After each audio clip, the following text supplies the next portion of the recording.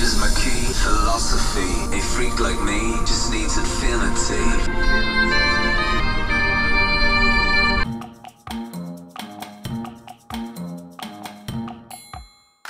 Mm, Godmorgen, godmorgen. Mit navn er Brian. Du er landet på den danske brumbas min kanal. Velkommen til.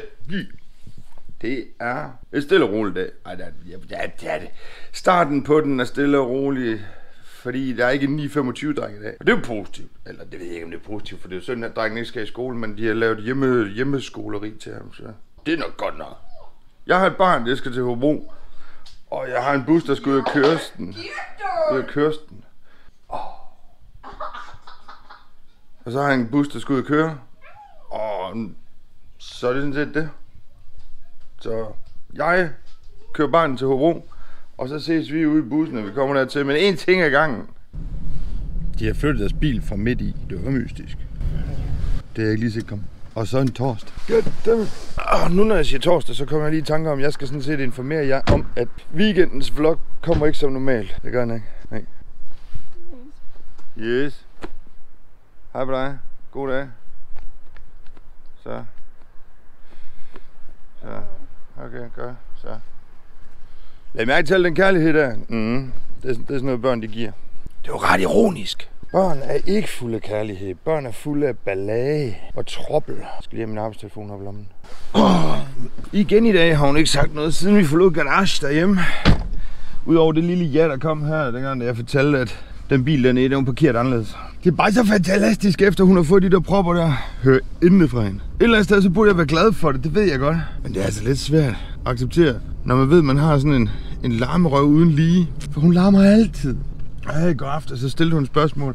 Altså, jeg kan slet ikke forstå, at folk, de synes, jeg larmer. Far, synes du, jeg larmer? Øh, ja. Som i meget, som i utroligt, som i hele tiden. Din mund står stille, fra du står op. På den her lige, når vi kører til Hobro. Men hun satte sig ud og snakkede og lavede ballade sammen med Kirsten. Og så gik hun ind på sit værelse, og hver gang hun har lukket døren, så hører jeg selvfølgelig ingenting. Så sidder hun derinde og ser sin TikTok-video, eller hvad det er for noget, hun gør. Og så hører jeg ingenting fra hende. Men det er da lidt uhyggeligt et eller andet sted. Fordi andre folk synes aldeles ikke, at hun er larmende, eller hvad var det, hun kom og fortalte mig. Andre folk siger, at jeg ikke er larmende. Nej, men det er du. Du larmer fra du står op til, du kan stå i. Altså, I har selv haft... I har selv hørt videoklips, hvor jeg har stået ude i køkkenet og forsøgt at fortælle jer noget, mens hun bare sidder og skriger enten på WC'et eller ude på sit værelse, inde på sit værelse, ikke? Altså, det ved jeg, jeg har. Det kommer ikke, altså, jeg kan slet ikke forstå, at hun ikke kan, at, at hun ikke kan se og høre det. Nå, jeg, jeg, jeg ved ikke, jeg fortalte jer det. Det er torsdag. Videoen i weekenden kommer ikke, som den plejer. Det gør den ikke. Det, jamen, det gør den ikke. Fordi jeg tager ned til Svante, og så overnatter jeg dernede. Ah, Peter. Ah, det var Peter. Peter, han lige der. Kørte 113, så kørte han 103 her i går. Det var imellem mærkeligt. Jeg ved ikke lige, hvad han laver med 103'eren. Jeg overvejer lidt, om han har glemt at skille om, eller glemt et et-tal i sit, øh, i sit 103. Jeg ved ikke, hvad det gik ud på. Nå, men jeg kører hjem og finder bysen. Busse Lusse. Så jeg ved ikke lige, jeg ved ikke, øh, jeg ved ikke lige, hvordan det kommer til at foregå med det her vlogging her i weekenden, fordi I mangler jo som sagt fredag. Men fredag for mig fortsætter lidt ud i lørdag. Og så ved jeg ikke, om jeg skal, om jeg skal hjem og redigere det hele lørdag aften eller sådan noget eller andet, så I får det søndag. Ellers så har I noget at kigge på mandag. Jeg ved ikke lige, hvordan vi klarer den, men jeg, skal nok, jeg, jeg finder nok en løsning. Men I får den selvfølgelig bare ikke at vide øhm, det kan godt være, det bliver noget i den stil. Lad os sige, det bliver noget i den stil, fordi så har jeg også søndag til at redigere, redigere på. Så hvis jeg redigerer lørdag, så kan jeg selvfølgelig give jer fredagsvloggen om søndagen, hvis ting de hænger sammen. Ind i mit hoved også. Og give mening for mig. Og så kan vi tage fredags, fredagsvloggen om, om søndagen og lørdags tingest, hvad det nu end bliver til, om mandagen. Så får I noget om mandagen også. Uh, der er også fascinerende. Nej, det var ikke fascinerende. Okay, nok. Kan vi, kan vi gøre det til en plan? Det tror jeg godt, vi kan. Yes, det gør vi. Vi gør det til en plan. Godmorgen. Nej, det har jeg sagt. Hvad er vi så i gang med? Vi er ude i bussen. Ja, det er også rigtigt. Jeg godt se, godt se. Jamen, jeg var også lidt i tvivl på, om I kunne se det, så jeg var nødt til at lige fortælle jer det. Jeg sad og tænkte lidt yderligere over det der med den der, med det der, med den der. Ikke? Kan I huske det? Det var lige før. For kort tid siden, jeg fortalte jer det. Altså, hvis den ikke er der op til tiden, så er den der ikke op til tiden. Og det plejer at være øh, 10-11 stykker i weekenden, ikke?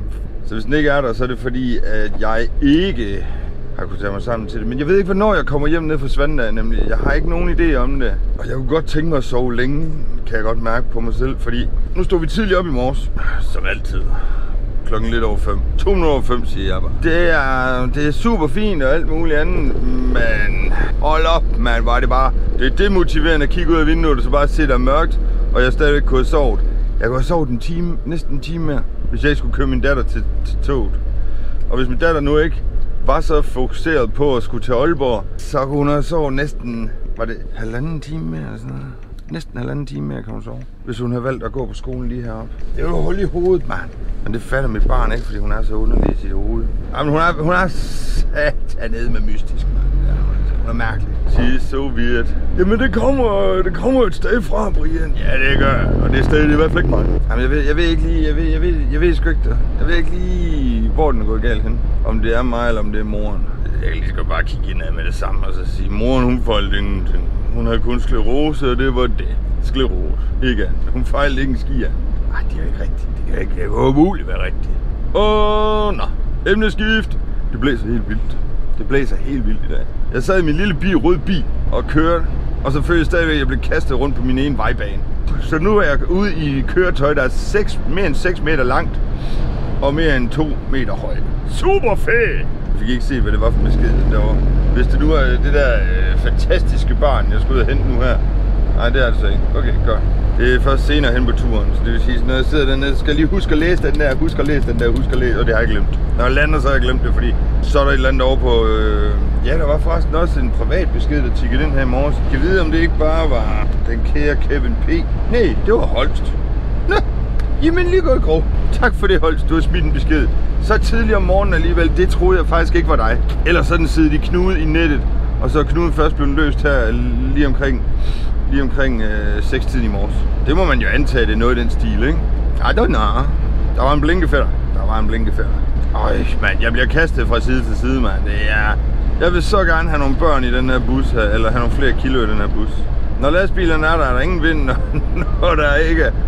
Når lastbilerne ikke er der, er der masser af vind. Nej. Nej, nej, nej, nej. Det er rigtigt, det du sagde først. Okay, når der ingen lastbiler er, så er der masser af vind på mig. Yes.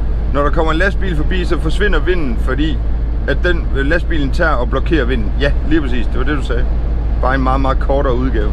Når der er lastbiler, er der ingen vind. Så det gør, at jeg trækker kraftigt til den side. Og når der så er vind, så ryger jeg til den side. Hold ned i her. Jeg slog øh, bremsen lige til. Jeg, åh, jeg hader det. Altså, det er godt nok, at systemet er der, fordi jo, hvis det ikke har været der, så er jeg nok væltet seks gange i løbet af mit liv eller sådan noget. På grund af, at det er et højt køretøj. Det er jo sindssygt det her, mand. Jeg kan ikke engang køre mere end 80. Det bestemmer bestemt Mercedes. Og jeg ligger helt ude på den hvide stribe. Vi bliver kastet lidt med. Det er ikke fordi, det er svært at koncentrere sig om. Altså. Bare husk at trække kontra. Men der er en gang imellem, når du, kigger, når du ligger bag sådan en køretøj som mit, ikke også? Fordi det er sådan lidt, let, letvægtskøretøj-agtig noget, så har det en tendens til, når du kigger, når, du, når, når, når der er kraftig vind, og du sidder i din lille privatbil, så prøv at køre op mod den hvide stribe ind mod midten, hvis vinden kommer fra den side af, hvor førersiden er, ikke? Hvis vinden kommer fra førersiden af, og blæser dig over mod græssiden, ikke? Og prøv at så se, hvor skævt sådan køretøj som mit eventuelt ligger på vejbanen, for at bare holde sig lige på vejbanen. Jeg lå engang bag sådan en her, det var, det var faktisk 20 cm, vi snakker, eller nej, 10 cm, vi snakker om. Men, men det, ser, det ser faktisk voldsomt ud, når du ligger bagved. Er det det. Og det her, det er det mest irriterende. Det er vejen, jeg slutter på om eftermiddagen, og det er vejen, jeg starter på om morgenen. Og min bus blev vasket i går. Hvis jeg ikke kører sindssygt langsomt hernede af, så ligner den akkurat det samme, som dengang, jeg kørte den ind i vaskehallen i går. Amen. Få lov at asfaltere. Så jeg skal ligge og... Nej, fordi så kommer traktorerne bare og sviner til med deres fedte hjul. Fordi der er marker på begge sider. Det er en markvej. Og det kan ikke betale sig, fordi inden, inden der er gået hvad? Inden der er gået en sommer, inden sommeren den starter til den slut, ikke? Hvor alle maskinerne de kører, så er de flinset det asfalt op igen. På grund af deres vægt og størrelse og øh, vride og alt sådan noget, de ligger og gør herude. Ja, men i hovedet, mand. Fra den gang, da jeg var knægt, og man tænkte, åh, det er traktor, den er bare så fin, den er så flot, ikke også? Altså, det var en størrelsesmæssigt, hvad der er sket hen over tid, er sindssygt. Sindssygt, man. Altså de, de maskiner, vi ser i dag, for nu, nu så jeg lige John Deere video i morges, der er en, en massiv stor maskine. Og her den anden dag, der kørte jeg forbi to John Deere, der holdt åbenbart med næsen nedad, som om at de var, de var pum, punkteret, men, men det var de faktisk ikke. Det var ligesom om, at de havde tabt akslen, eller et eller andet, jeg ved ikke, hvordan jeg skal sige det, men de pegede meget nedad og var meget lav ude foran. Og det var to John Deere. Så det er det sidste traktormærke, jeg har set. Altså, jeg ved godt, Ford laver traktor, og New, New Holland laver traktor, og, og sådan noget. Men, men nu, nu er det bare John Deere, jeg lige fokuserer på, fordi den er meget stor, og det er den, jeg så sidst. Altså, jeg synes, de er ekstremt sindssygt store. Altså, der var engang, der var en traktor ikke meget større eller bredere, bredere end den her bil. I dag, der fylder de jo næsten helt vejbane. Og det værste af det hele er, at de er blevet endnu dårligere til faktisk at registrere, at de er ved at lave en en utrolig lang kæde af køretøjer bag sig. Altså, de har jo sådan set lov og ret og pligt til at trække ind, når de er ved at lave en lang kæde. Men det er ligesom om, at nej, jeg er stor. Jeg fylder synd for dig, du er lille. Størst kommer først. Så man kan ligge efter sådan nogle traktorer der i flere kilometer efterhånden. Der er nogen, der er super gode til at stadigvæk overholde det, men jeg tror lidt måske, at det er de gamle, det er den gamle skole. Det er dem, der sådan ligesom, ja, men jeg ved, jeg skal, men jeg har, jeg har ikke tid til, men jeg ved, jeg skal. De får altid lige et dydyt af mig, eller et, et øh, blink med det gule lys, eller et eller andet, som tak som hilsen for, at de har trukket ind. For ligesom at vise, at vi, vi, vi accepterer det og anerkender det, og synes, det er fedt, de gjorde det, i stedet for, at vi skal til at ligge og lave døde, øh, døde farlige overhalinger, fordi vi er ved at være frustreret og træt af det, og ligger helt ned i enden af halen, og, og har altså et sted, vi også skal være. Og ikke forvente, at vi vil løbe på en traktor, der skulle køre 27 km den retning, jeg skulle, og ikke have lyst til at trække ind. Jeg, jeg, ved, ikke, jeg ved ikke, om det var bare mig, der sad ævlet der. Forstået på den måde, at mine tanker siger til mig, var der noget, jeg var i gang med at sige, eller bliver jeg afbrudt af mig selv? Jeg ved det ikke. Nå, så har vi da også lavet et meget dejligt langt klip der, var Brian? Så er der noget at redigere ind, når vi kommer hjem, var Brian? Ja, det er bare dejligt, Brian. Og det er så godt, du laver sådan nogle lange klip der, Brian. Husk beskederne. Yes, tak for det. Tonight I'm moving on, I'm moving ahead, ahead. I'm jeg flytter et hoved. Nej. Okay. Jeg er færdig med mine skolebørn og på vej over for chanke, chanke, chanke. Tank, det er tanken, der tæller. Ja, min far har altid sagt, det er tanken, der tæller. Ja, det er det jo bare ikke, når tanken den er tom. Men igen, hvis du nu fokuserer på tanken, som om, at det er tanken, der tæller, og det er det, der tæller. Hvis den ikke er fuld, eller du ikke har fokus på den, så tæller den ikke. Jeg har altid forsøgt at forstå det der ordsprog, han bruger der. Det er tanken, der tæller. Der er nogen, der siger, det er tanken, der tæller. Jamen, hvis du nu tænker på tanken, og fokuserer på, at den altid er fuld, så er der ikke noget problem. Og det er det, jeg gør. Men når du står og tænker, at tanken den skulle have været fuld, så er det igen tanken, tanken, der tæller. At du tænkte på det, at du tænkte, at du ville gøre det, men du fik det ikke gjort. Ja, jo, men du holder jo stille. Så er det ikke tanken, der tæller længere. Så er det faktisk bare en lussing i dit ansigt, fordi du ikke, fordi du ikke var vågen. Så skulle du nok ikke have kørt nogen steder i det hele taget. Jamen, det er tanken, der tæller. Nej, du skulle ikke have kørt nogen steder, sagde jeg. Lad os bare fokusere på noget andet i stedet for, fordi det der, det er være ævl, Brian. Det er være ævl at fyre af. Der er, ikke nogen, der er ikke nogen, der forstår, hvad du siger, når du siger sådan noget pjat der. Nej, men det er sådan nogle tanker, jeg, jeg ruller med temmelig tit, hvor jeg bare sidder og så hører musik samtidig, og så kører min hjerne bare. Der er intet, der kan stoppe det er ikke nogen, der siger, der er ikke nogen, der siger, at det skal være skidt, at man ruller med hjernen, altså at, at tanken den bare får lov til at, at vælte af. Når jeg sidder på vejen, så er det en af de steder, hvor jeg tænker allermest. Altså min hjerne, den tænker bare. Han kører på alt muligt og på hvad som helst. Der er også noget af, at der slet ikke giver mening, hvis du putter det ord på det, men den tænker bare en tanke omkring det. Det er lidt syret et eller andet sted. Tag nu, tag nu for eksempel, ikke også, så, så, så, så sad jeg herude på et tidspunkt og, og øh, tænkte, det kunne egentlig være smart, hvis alle YouTubere, hvis alle YouTubere havde en platform, vi kunne gå ind på og være i kontakt med hinanden, uden om alle vores seere. Altså uden seerne, bare alle YouTuberne. Sådan så hvis du havde noget grej, som kunne være brugbart for en anden YouTuber, så kunne han gå ind og finde ud af, for det første, hvor du boede henne, og for det andet, om, du var, om der var mulighed for, at du var hjemme, og han kunne låne det. Altså, så kan man, så kan man låne udstyr af hinanden. Sådan en tanke har jeg siddet og kommet med herude. Vi forsøgte at lave den øh, i Galaxy, men, men, men budgettet var ikke til det, og, og, og det var noget noget. Og så sidder du og spørger, hvad er Galaxy for noget? Det er en forening, jeg engang var medlem af, og, og, og den eksisterer ikke mere. Øh, øh de stod bag Supernova, som var et lille award show for små YouTubere med under 25.000 abonnenter. Så kan du deltage i det. Fordi vi synes, at altid så var det de store, der vandt, og det var altid de samme, der vandt. Fordi at de havde nok seere til at bakke op. Og det er jo fint nok et eller andet sted, selvfølgelig skal de også anerkende, selvfølgelig skal de da det. Men hvorfor skal de små kreative mennesker, som du måske ikke har set eller hørt om, eller noget som helst. Og jeg synes, det var mega fedt, fordi jeg fik en masse at vide omkring YouTuber, som jeg overhovedet ikke kendte til. Men altså, hvis du nu tager alle YouTuberne i Danmark, ikke?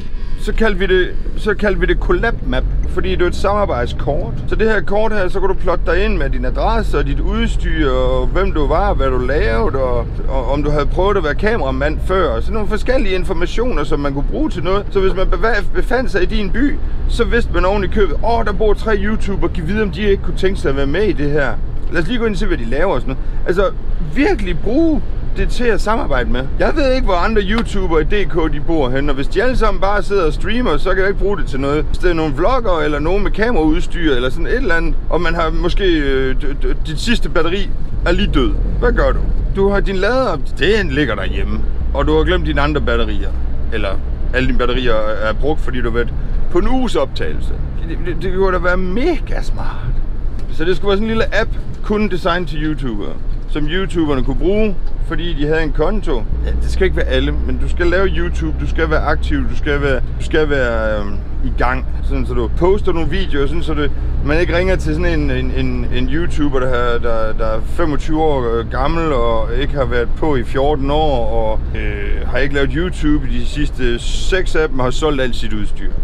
Jamen altså, det, det vil være rart nok, at det ligesom var folk, der var aktive, ikke? Så derfor aktive YouTuber med, med en vis portion video om året, eller en om året, eller et eller andet. Det, det er jo stadigvæk aktivt, ikke? Men der skulle bare være nogle, der skulle være nogle fornuftige, fornuftigheder i det også. Og så skulle man ikke bare gå ind, altså, skulle man ikke bare gå ind og stalk øh, andre YouTubere for at finde ud af, hvor de boede henne, og og fame og alt sådan noget der, og kunne arbejde sammen med de store. Altså, det var ligesom for, at man kunne bruge det til noget fornuftigt. Tænk større end bare lige øh, fame 5 minutter til et eller andet, hvad ved jeg.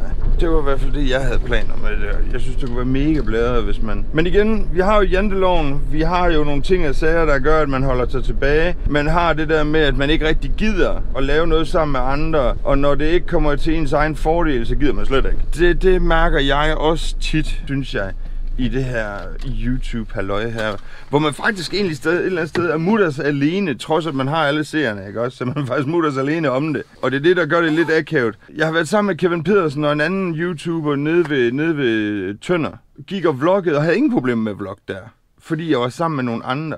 Jeg har været over i København, hvor vi gik, øh, jeg tror, vi var en, en, en 7-8 stykker eller sådan eller andet, der alle sammen havde et kamera og gik og vloggede og lavede noget forskelligt. Der igen havde jeg ikke noget problem med at gøre det offentligt, videofilm mig selv og videofilm dit og datten og pege kameraet på det, jeg havde lyst til og sådan noget. Ingen problemer, fordi at jeg var en del af en gruppe, der ligesom så forsvandt man ind i mængden af, af, og det blev en form for normalitet at rende rundt med et kamera.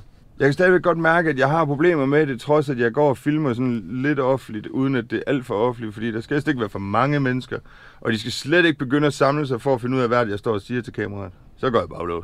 Jeg havde en dreng op på skolen i går, da jeg kørte op for at hente min 12 barn. Han gik og stirrede ind i, ind i øhm, han gik og stirrede på mig, mens jeg sad og snakkede til jer. Det var meget akavet. Det gjorde det faktisk svært for mig, fordi at han kiggede på mig. Hans kamera gjorde, ikke? Men han gik og kiggede direkte på mig og tænkte, hvad har du gang i? Du kunne også se øjenbrynen, de gik herover fra til, hvad har du gang i? Jeg synes bare, det kunne være fedt at vide, hvor andre YouTubere de boede hen, som ligesom kunne få gang i noget samarbejde og få, få gang i noget, noget øhm, det her, der hedder øh, community, miljø, samfund, YouTube-samfundet i Danmark. Altså, jeg vil gerne mange ting for YouTube, og især her hjemme i Danmark, men jeg synes altid, det er de store, der får, får, øh, får accepten, og det er de store, der... Jeg ved ikke, om det er bare mig, der er lille og sidder og peger op og siger, det er alle de store skyld, det er ikke det, jeg siger. Jeg siger bare, alle de store for accepten, og det er alle de store, det er jo klart, de har masser af seere til, og hvis, der skal, hvis de skal vinde noget, så skal de bare sige det en gang eller to gange til at se, så ser en og gør alt muligt, ikke? fordi de har så mange følgere. Jeg skulle have alle 500 til at stemme på mig, hvis det var, at jeg skulle vinde noget som helst. Kunne jeg næsten kunne forestille mig. Og så stadigvæk slå Nicky Topgaard. Altså, det kan ikke lade sig gøre, vel? så derfor, Så lavede vi det der YouTube til de små, til de små YouTubere. Faktisk mega hyggeligt. Jeg var med en, en fem, fem år eller sådan noget, tror jeg. Men Collab Map er en af de ting, jeg har tænkt på, at, at det kunne være fedt at udvikle. Øh, fandt så ud af, at der var måske også nogle andre virksomheder, der brugte det, bare på en anden måde og til noget andet. Det gør heller ikke noget. Værktøjs, var det, var det, vi var inde, vi var inde Google omkring de her ting og sager, med samarbejde og sådan noget, for at se, hvad der egentlig var af muligheder. Jeg synes, det kunne være fedt, hvis, hvis Danmarkskerne kunne se lidt længere ud over janteloven, ud over deres egen næstip, og gå ind i nogle samarbejde. De nærmeste, jeg ved, der, der eksisterer på mig, det er Jens, som er TikToker. Det, det er dem, jeg ved, der er tættest på. Jeg sidder lige og tænker, om der var nogen i Randers. Tror jeg ikke, der er. Og så julemanden for Skive. Jens og julemanden for Skive, det er de to tætteste, tror jeg, jeg kender til. Og jeg også har samarbejdet, eller samarbejde, jo, jeg har jo deltaget i nogle af deres videoer. Har været i go-kart center med jule og noget. Ja. Men det er, en, det er en ud af mange ting, som jeg sidder og tænker på herude. Jeg har også tænkt på, hvad med, hvad med, hvad med det her musik her, når du går ind på sådan noget som Spotify for eksempel, ikke? Også, så har du musikniveauer, der går sådan her. Hvad kan man gøre ved det? Altså, ikke fordi at lydbølgerne går sådan her, men det ene nummer går sådan her, det næste nummer er sådan her, det næste nummer er sådan der, det næste nummer er sådan der. Og så skal du sidde og, og, og, og, øhm, og skrue op og ned på din, på din telefon, fordi du har sådan nogle headset i, ikke? Så ellers så smadrer du dine ører. Det er også en ting, jeg sidder og grubler i. Jeg, jeg, jeg tænker mig derude. Men jeg kommer aldrig rigtig længere ind til, til tanken og ideen. Der var, jeg, jeg, har tænkt, jeg har tænkt nogle gode tanker faktisk, hvor jeg har delt det med folk, og så har de sagt, nej, hvor en fed idé, den skal der gøre noget ved. Så er den gået i glemmebogen, fordi jeg jeg aner ikke, hvor jeg skal starte hen. Jeg aner ikke, hvor jeg skal tage fat. Jeg aner ikke, hvad jeg skal gøre med det. Og så bliver det ikke til noget. Og så fordi jeg er ikke... Altså, jeg er måske idépåfunder, påfinder, finder funder. Men jeg aner ikke, hvordan jeg skal lave det, hvordan jeg skal gøre det, hvordan jeg skal fremstille det eller fremlægge det for andre. Og det var derfor, at CollabMap for eksempel gik fra en idé til at blive til nu er jeg så ikke alligevel. For jeg synes, det kunne være fedt for, for YouTuber. Jeg tror, den største, prof, øh, største Facebook-gruppe, der er inde Inde på Facebook, Brian? Ja, lige præcis. Ja, lige præcis inde på Facebook. Den er på 1200 eller 2200. Og det eneste, det drejer sig om, det er at klistre den væg til med, med, med, med videoer omkring, hvad de har lavet for nylig. Det bruger jeg bare ikke særlig meget tid på. Jeg tror, jeg poster en to gange om året måske, hvis jeg er heldig. Hvis der er en video, jeg tænker, den er fed, den skal folk se, eller den kunne folk have interesse i. Dengang jeg startede det her vlogging, der smed jeg en enkelt en op, efter jeg var gået i gang. Jeg tror, jeg var 16 vlogs inden eller sådan noget. Så delte jeg med, med dem. Jeg må hellere få, få tanket, ellers så holder vi bare her og bruger hele formiddagen. Og så skal jeg hjem og klippe, og så har jeg hele... Nej, det duer ikke. det er den forkerte vej rundt, Brian. Ja, nø, ja. Uh, kvarter. yes, sir, man. Yes, sir, man. Yes, sir, man. Yes, sir, man. Man, man, man, med yes, sir, man. Man, man, man, med yes, sir, man. Da. Vi er på vej igen, vi skal lige en tur på vej igen. Vi skal ud og se, hvordan landet ligger. Nå, nej. Yeah. Yeah. Vi er færdige med at tanke. Jeg har været hjemme. Jeg har redigeret. Og mens jeg sad og redigerede, kom jeg til at tænke på en af de der ting, jeg sad og fortalte jer om, som, som, som jeg også har tænkt på. Fordi jeg har sådan en brainstorming en gang imellem, eller en, en, en, jeg får en idé, som jeg ikke rigtig ved, om den kan blive til noget. Så der sad jeg og tænkte på på et tidspunkt at lave en, en, en, en TikTok-kanal. Fordi jeg tror ikke, den, den kan ikke, jeg tror ikke, den kan bære på YouTube, det tror jeg ikke. Men en TikTok-kanal, fordi der ved du, du skal levere noget kort, du ved, du skal være hurtig og effektiv. Og det er bare ikke. Det har vi ligesom konstateret. Jeg forsøger at lave en vlog, der skal være omkring 10-20-25 minutter max. Hvordan går det? Jeg tror, jeg lavede den en gang. Måske har jeg været heldig at lave den to gange. Der er nogle gange, hvor jeg har været nede omkring 27 minutter. Men det er ikke det, det drejer sig om. Brian, hold dig til sagen. Ja tak. Godt. Tak for det. TikTok-kanal. Og det, det drejer sig om, det er, at den skulle hedde idéhylden. Altså idéhylden. Sådan, så når du fik en idé, så gik du derind og smed den op. Lav den, sidder herude en gang imellem. Og sådan en TikTok-video, den er igen 60 sekunder, så det er ikke ret meget tid, du har til at fortælle. Bla bla bla bla bla, bum, og så sender du den afsted. Og så kunne man se, hvordan, hvorledes den kom til at gå om, om jeg sidder bare og får nogle idéer, og så i stedet for at smide dem ud, i stedet for at de ikke bliver til noget, i stedet for at de ikke får en, en jordisk chance for at møde, møde modstand, eller møde kritik eller kommentar, eller ej, hvor en fed idé, den vil jeg egentlig gerne tage til mig. Jamen det gør du bare. God fornøjelse med det. Så sidder jeg bare og tænker, hvorfor ikke, hvorfor ikke, øh, hvorfor ikke give det en chance? Jeg har så bare aldrig kommet videre i tanken, men jeg synes, det kunne være fedt fordi så kunne jeg gå derind og smide mine idéer op. Når jeg for eksempel fik sådan, noget, sådan en idé som den der collab map der, eller øh, jeg har en anden idé også. Der, der, der, vi har nogle bespændinger hernede bag i bussen. Det kan godt være, at vi skal lige øh, tage en kigger på dem. Men, men du, kan, du kan få sådan en, en, en skraldenøgle. Den kan du få i forskellige længder. Og så kan du få sådan et hoved, hvor det er fuld af sådan nogle... Øh, du kan få sådan en, en, en rund kop, eller rundt hoved et eller andet, som du kan sætte på den her. Og så kan den tage fat i en hvilket som helst boldstørrelse, fordi den er udstyret med forskellige pinde derinde. Jeg ved ikke, om, om, om, om det er en ting, eller om det er noget, eller, men, men det, sådan er det inde i hovedet, ikke? Og så den her, den kan du så bruge til de her bespændinger hernede bagved, som har de her trækløver. Altså, du skal kunne rulle den med dine fingre. Men for at rulle sådan en bespændingsfætter, altså når, når vi har kunder ombord, der er jo nogen, de hægter dem bare på, og så, så gør de ikke mere. Og så siger de, jamen det er selvspændende. Ja, det er sgu da meget fint, men hvis din kunde ligger ned og ruller rundt ned på gulvet og, og, og rusher rundt, og altså spænd lortet fast fra starten af. Det er ligesom alt andet gods. Det skal ikke kunne rulle nogen steder, det skal ikke kunne bevæge sig, når du starter bussen op. Så jo bedre du kan skralde den her fast, ikke? jo bedre vil det være.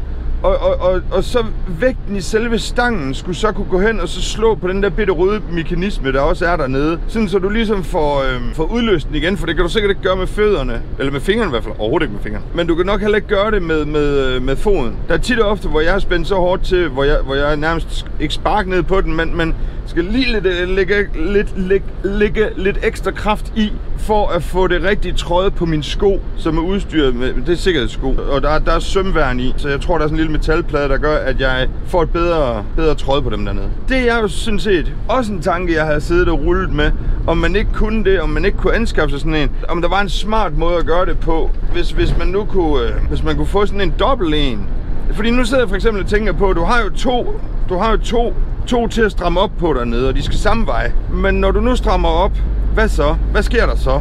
Jamen så strammer du jo op, og så, og så øh, men det tror jeg ikke på, at du kan gøre i en side. Jeg tror på, at du er nødt til at gøre det synkront. Så du skal have to af de hoveder der, så begynder jeg virkelig at blive tung, ikke? Så er det en tung søren lige pludselig. En, en, øh, det er en ting. Og så, så har jeg siddet og rullet med, hvis vi nu skal have el-lastbiler, elbiler og alt muligt andet, elbusser for den sags skyld. Altså vi har, vi har jo en delens masse plads heroppe på taget. Både på trailer og på, på, så ikke lige på lastbiler. Og det er jo så derfor, lastbiler skal jo så gerne kunne via trailer, ikke? Have solceller til at ligge op på taget. Et batteri nedenunder, som den kan koble over på, når, øh, når den ikke står hjemme i stationen. Så den, når, når traileren står et sted, så lader den op til når lastbilen kommer, så kan han plotte sig ind i den, og så kan han køre, øh, indtil han øh, kommer frem til en station eller en stander. Men samtidig med, at han bruger det batteri, så lader batteriet også op, fordi der er 33 kvadratmeter, eller 33 pallepladser, er der på taget af sådan en, en, en, en lastbil. Det kan godt være, at det kommer til at veje noget, men igen, hvis vi skal gå i en grøn retning, er vi nødt til at tænke anderledes end det, vi gør. Men det er jo også en mulighed. Busser for den sags skyld, øh, hvis de ikke har et elnet, øh, som de kan, de kan trække på ved at have sådan noget ligesom de gamle sporvogne, øh, sporvogne, sporvogne, ikke? Kunne man så ikke have øh, solceller, solceller på tag? Jeg forstår ikke, at vi ikke udnytter pladsen ordentligt. Jeg forstår det ikke.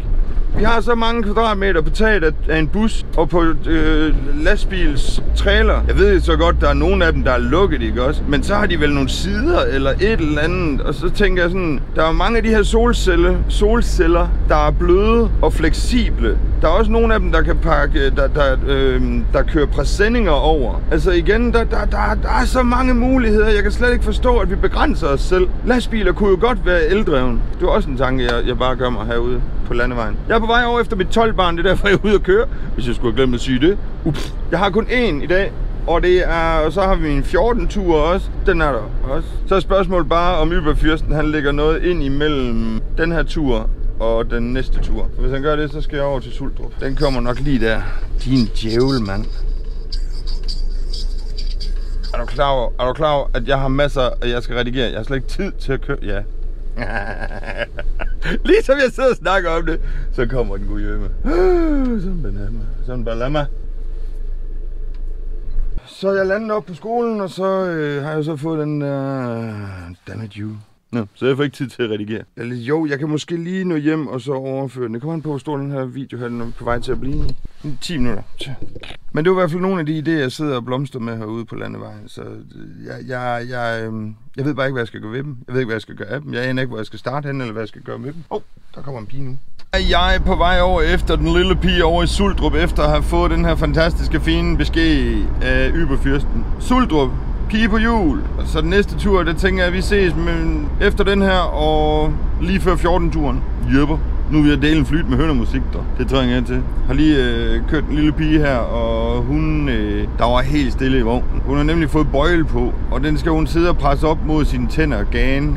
Hun skal bide sammen på den. Så det gør hun. Så når hun skal snakke, så snakker hun sådan her. Og det er ret sødt at føre en samtale i et køretøj, der brummer helt vildt. Ja, så det gør vi ikke. Næste tur. Okay, godt. Hej. Jeg er på vej over til min 14-tur og har kørt den lille pige på jul, men i dag, der var hun ikke på jul. Blev jeg forvirret? Ja, det gjorde jeg. Den blev over på skolen. Hvorfor, det ved jeg ikke. Men det er heller ikke min opgave at vide det. Jeg skal bare køre pigebarn fra A til B. Om det er med eller uden stol. Så jeg var nede og så alle de der fine ting, jeg har pakket ned for at gøre klar til, at jeg kan, kan køre hen ombord og liften ned og øh, bespændingerne op igen og op med liften, før vi kunne køre nogle steder, fordi det giver jeg ikke til at lægge ro dernede. Så jeg fik lige ryddet op, og nu er jeg på vej over til 14. Eller min lille lokaltur. Min lille lokal... Det er det, vi plejer at kalde den, det er rigtigt, ja. Jeg ved ikke, hvorfor jeg er begyndt at kalde den 14-tur, men så... Jo, jo, det ved jeg. Jo, det, jo, det, jo, det ved jeg. Det, det ved vi godt, hvorfor. Det er jo fordi, at alle de andre ting... Jeg skal jo til at pille mig i øren. jeg piller mig bare så meget i alle huller, der vi er på video. Det er så godt gået, Brian. Det er fordi, at alle de andre ture bliver kaldt tidsture. Morgenturen hedder som regel morgentur. Og så er der 9.25-turen. Så er der 12-turen. Så er der nogle ture, som Yberfyrsten den sørger for. Og så er der så den her, der bør hedde lokalturen, for det er jo den lille lokaltur, for det er jo det, vi startede med at kalde den. Og så skulle, og den hedder så også 14-turen åbenbart. Fordi den sidste tur, som er skoleturen, den er kendt som 15-turen. Så er godt se, så er det lidt op bakke, ikke? Hvis der kun er én, der bliver kaldt ved, ved, ved, tid, ved, ved, ved navn. Men den er jo kun to gange om ugen. Der var ikke så meget andet at sige til det, end jeg er på vej derover, jeg henter den, og derefter så er det jo skolebørnene formodentlig, for, for, formentlig formodentlig, for det er torsdag i dag. Og på en torsdag, så ved vi jo godt, at der kan komme den der tur, der de lige kan finde på at presse ind imellem, hvis det skulle være, skal være. Den kan jo lige... Jeg kan lige nå til Havreslev, mener de. Det må vi se, om, øh, om det er det, der popper op. Jeg har ikke kigget på telefonen, fordi jeg gider ikke at finde ud af det. Så vil jeg hellere lade det være en overraskelse. Så må vi se, hvordan jeg griber min overraskelse, eller tager imod min overraskelse. Den kan jo lande til både negativ og positiv side. Det, det så vi vist i går. Og til det... det, det vil jeg gerne lov til undskyld. Men jeg blev virkelig frustreret i det øjeblik, at han bare sad og sendte sms'er. Og jeg var sådan mere irriteret over, at jeg egentlig ikke tænkte den tanke, som jeg tænker til allersidst i video, eller i, i, i den frekvens, sekvens, frekvens, sekvens, sekvens, hvor jeg sidder og modtager de her beskeder og bliver...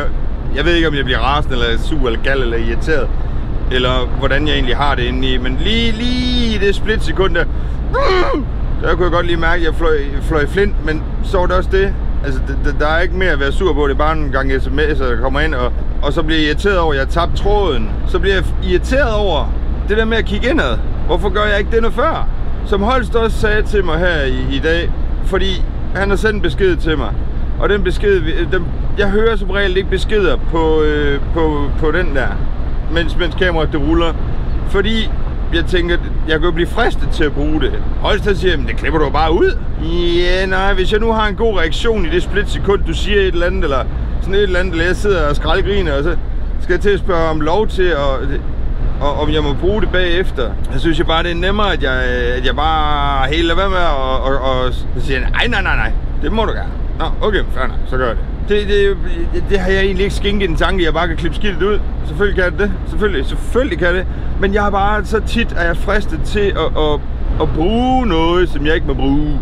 Og så prøver jeg at fisle rundt med det og se, om jeg ikke kan, kan, kan redigere det sådan, at, at det et eller andet sted passer inden for lovens rammer, og, og, og, og de mennesker, der ønskede ikke at være med, at de ikke er med. Men jeg kan ikke gøre for, at de står og galper op, hvis, hvis øh, de, de har noget at sige, eller siger noget, og, og lyden så går ind over, det kan jeg jo ikke gøre. At jeg er ved at stå og snakke med en anden en, og så skal man prøve at få, ej det er godt se, det duer ikke. Jeg ved ikke, om det gør mening, men det gør det ikke, for der er lidt ekstra tanker, der lige kommer til en gang. Men pointen er bare, hvis der er en, der står og snakker til mig, som jeg fører en samtale med, og der så er en anden en, der råber i baggrunden, ikke? så kommer hans stemme jo med på. Og hvis han ikke ønsker sig deltagende i videoen, så kan jeg ikke gøre for, at hans lyd er med den kan jeg ikke fjerne. Men jeg kan lade være med at vise ham på, på video eller billede, hvis det er. Det, det, det, det er det eneste, jeg kan gøre. Jeg kan ikke, jeg kan ikke pille lyden fra, og så sige, øh, ved du hvad, vi stod faktisk og førte en samtale, og du render rundt og galber i øh, baggrunden. Det er kujøm ikke min skyld. Det kan du lade være med. Der kommer en busselusse, det er 372. Så fik han hele vejen for sig selv nemlig. Jeg kører derover, og så vil jeg bare gerne lov at sige undskyld for det udbrud der i går. Fordi at, øh, der er ingen grund til, at jeg ikke kigger indad. Og jeg er træt af, at det tager mig så lang tid om at kigge indad. Det burde jeg have gjort længe før. Og så bare sagt, jo jo, Brian, tag nu lige, du kunne lade, du kunne, du kunne, øh, i stedet for at hisse dig sådan op. Hvis jeg, ikke, hvis jeg nu bare havde stoppet, og det var faktisk det, jeg ville med, med, med det der holst lyd og det der, det var faktisk, at hvis jeg nu bare lod den melodi spille ud, satte mig ned og ventede i stillhed, holdt fast i min tanke og ventede til melodien var færdig, eller han var færdig med at sende beskeder, eller et eller andet den stil, så kunne jeg jo have samlet op på den efterfølgende der. Men så langt tænker min tanke bare ikke. Min, min, min, det, det, du skal ikke afbryde mig, din lortes med så kraftige hæ og gudjø og hvad? Ja, sådan er det bare. Du skal ikke afbryde mig, for det har jeg ikke bedt om. Hvis jeg ikke bedt om det, så skal man ikke afbryde mig. der er noget, der er noget ruskrigsgravende galt med den fyr der. Vi ses efter den her tur. Hvad er rettet i den bil der? Så taler du lige ordentligt. Ja. Det kan også være, at det var en inder. Det ved vi faktisk ikke. Det kan også være en afrikaner. Og Borski, uh, Bosnelski, det kunne det i hvert fald ikke være. Men mindre, at der var noget galt. Altså, jeg forstår ikke. Jeg forstår simpelthen ikke lige det kommunikationsproblem her. Sådan der. Sådan der, tror jeg. Jeg tror, den er der. Satser på, den er der. Jeg har afleveret min lille lokaltur. Nu er jeg på vej over på skolen efter øh, skolebørn. Og det går ikke særlig stærkt i dag. Det går stille og roligt. Keine kleine schnellbitte. Jeg skulle have hentet de dunke der, jeg er til at stå inde, på, øh, inde, inde i mit værksted. Som jeg så kunne have fyldt op i sprinklervæske og øh, olie. Fordi jeg har jo selv puttet mit eget olie på. Jeg har da selv puttet mit eget øh, sprinklervæske på. Og jeg har puttet mere kølervæske på, også dengang den manglede. Så, altså, det synes jeg kun er fair, at man giver tilbage. Det er en del af jobbet. Ja. Det stod sgu ikke i min jobbeskrivelse, at du selv skal... Fordi vi skal jo have et, et, øh, et, et, et, vi skal jo have noget at tage af, hvis det er, at bussen mangler. Hvis bussen mangler, så skal jeg kunne gå ind i mit værksted og tage, i stedet for at jeg skal køre hjemmefra og over på værkstedet, og så håbe på, at bussen ikke går i stykker. Hvis den mangler olie for eksempel, eller hvis den mangler øh, kølervæske, hvilket den har, min, min har gjort i et stykke tid. Det er en ordentlig vandpyt, den. Det er en mega vandpyt, den går bare langt derovre, mand. Så jeg kører ud i skoven og sætter mig til at vente derude. For nu vasker jeg bussen i går, og det er egentlig min grund til, at jeg skal vaske den to dage i streg. Jeg magter det ikke. Kunne selvfølgelig have gjort bussen rent indvendigt, men det magter jeg heller ikke. På det tidspunkt. Fordi så kommer alle de der børn der med deres lorte sko ude fra skoven og skolen og svine bussen til. Jeg gider det ikke. Jeg synes, det er, jeg synes, det er så spild af tid. Jeg ved godt, det skal til og sådan noget, men det er så spild af tid. På den konto vil jeg gerne køre stor bus ind i byen bybus. De kører hjem på centralen eller stationen og sætter skidtet, og så er der nogen, der vasker det. Det har de øh, som arbejde. Altså, det, det synes jeg, der er lidt fedt. Du skal ikke tænke på at gøre rent, du skal ikke tænke på at, at, øh, at vaske bussen. Det er der et hold, der gør om nat, så vasker de busserne. Ja, det synes jeg, der er luksus. Ren og skær luksus. Vi ses, når børnene skole, de der 15 børn. Når skolebørnene, når skolebørnene er afleveret, så ses vi igen. Så har jeg læst sidste skolebarn af, og er nu på vej hjem i samme fyr, som puttede luft i min dæk. Note til dæktryk. Sikkerhed. Dæk, rigtig dæktryk er også det mest sikre at køre med. Det var bare lige note til, til, til klippet i går. Og dæktryk og sikkerhed. Okay? Yes, godt. Fordi så har du det rigtige vejgreb fra producenten af. Okay? så, super.